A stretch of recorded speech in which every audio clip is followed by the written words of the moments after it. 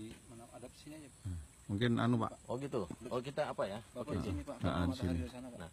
Pak In- ya ini metarisium kita kita menjaga atau preventif lah terhadap kebun-kebun yang sebelah kan nah tapi kita buat tiga baris saja tiga baris pemanjang sepanjang dari kebun sebelah kan supaya mana tahu ada penyerangan di sini dia nggak kemari gitu nah metarisium itu terbukti kemarin waktu kita pupuk kandang ya kan ada sebulan kita nggak buka satu sak itu Hmm. hampir 40 ekor 40 ekor. 40 ekor kan nah kita masukkan itu ada 100 100 Karung. karung 100 karung. Wah. Mm-mm. kita masukkan dalam ember semua ya kan kita kasih air sebatas dia punya ketinggian Mm-mm. ya kita kasih metaresium waktu itu tak kasih itu setengah kilo Setengah kilo. setengah kilo ditengok seminggu dua paling lama dua minggu Mm-mm. itu udah coklat semua bapaknya nih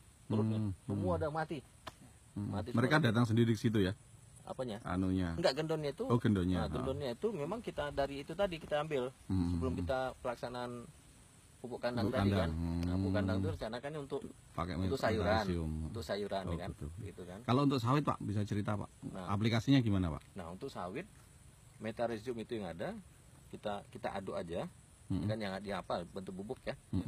nah kita aduk Pakai air. ka, iya pakai aduk Ah. air pakai Satu Ya. cap, satu cap itu berapa Pak? satu cap kalau nggak salah itu cuma s- 5 gram atau 10 gram itu Satu cap itu berapa liter? Lim- Nah. 10 10 saya 10 liter. 10 liter. liter itu lim- cuma sekitar 5 gram. ya 10 10 Sendok ya? 10 sampai 5 gram Hmm, satu sendok lah ya. Nah, jadi kita pucuknya kita siram Hmm, hmm. ya karena biasanya yang kubang tanduk itu menyerang kan pucuknya dulu Yang tuh. tengah ini ya. nah Hmm.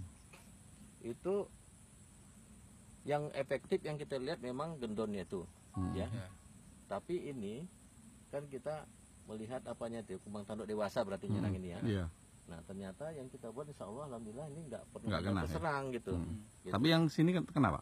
nah di situ mungkin ada tuh di belakang sana gitu Hmm. nah pernah pertama awal kita ini kan sebelum metarisium saya kasih feromon sepanjang Hmm. pasar Iya, tengah yang kemarin tuh Pak saya lihat. Hmm. nah iya kan Ah, iya. nah kan kita Feromon. buka tuh Ya, Hmm. pakai ember banyak. wow itu banyak Hmm. Banyak sekali, Malah, Pak.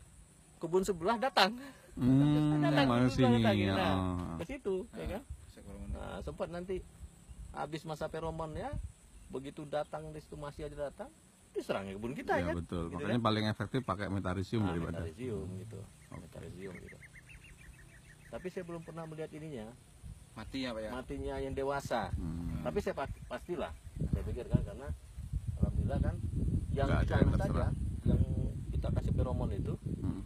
kan kemudian kita itu ya itu sorry Ya. di pasar tengah juga saya semprot Hmm. karena bekas feromon waktu itu Hmm. saya semprot tapi untung lah Untung nggak kena ya. nggak ada nggak ada Nggak ada- nggak ada yang nggak datang. kena itu kan. Iya. tapi saya nggak nggak nggak bisa membuktikan dia karena kalau mati kan di dalam tuh Iya. Hmm, hmm, hmm. Gitu kan? Betul betul. tapi kita buktikan itu insya Allah alhamdulillah nggak nggak nggak ada terkena ada ya. Hmm. sepanjang pasar tengah itu kita kasih feromon Hmm. kalaupun nanti feromonnya sudah habis tentu ini masih ada tuh kan Masih ada ya. Hmm. Nah, masih ada kumbang tanduk yang Sebelum datang gitu Sampai feromon kadang-kadang kan dia hinggap dulu dia di. betul Ya. betul Itu bahayanya. Oke. Terima kasih Pak atas penjelasannya.